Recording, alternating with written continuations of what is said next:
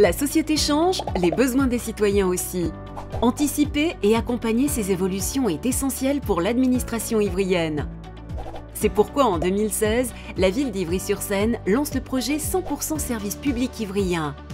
Soutenu par les élus et par le maire Philippe Bouissou, l'administration municipale engage alors une concertation avec les agents sur l'organisation du service public et sa mise en œuvre. Privilégiant au départ la méthode des petits pas, la démarche mobilise progressivement toute l'administration. Les 1850 agents municipaux participent ainsi à la concertation autour du projet.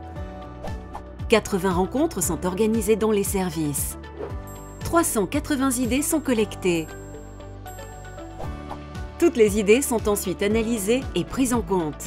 Elles témoignent d'un fort attachement des agents à l'intérêt général. Les résultats de cette concertation sont rassemblés dans un projet commun intitulé 100% service public, notre projet d'administration.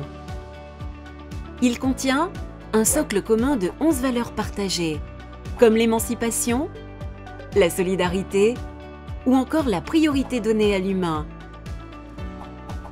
Trois axes pour une administration qui favorise la participation citoyenne, le développement durable et l'égalité femmes-hommes. Cinq priorités pour une administration proche des citoyens et des usagers, capable d'accompagner le développement de la ville, efficace, transversale et participative, soucieuse de la reconnaissance et de la qualité de vie au travail. 34 engagements concrets.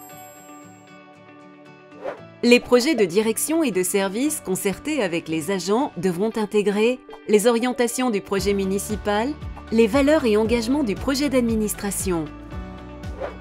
Tous les services seront mobilisés. Ils pourront s'appuyer sur nos ressources internes, comme le labo ou la direction des ressources humaines, et une instance composée d'agents volontaires sera spécialement créée pour suivre les résultats et être force de proposition. Ensemble, nous avançons. Nous sommes 100% service public ivrien et fiers de l'être.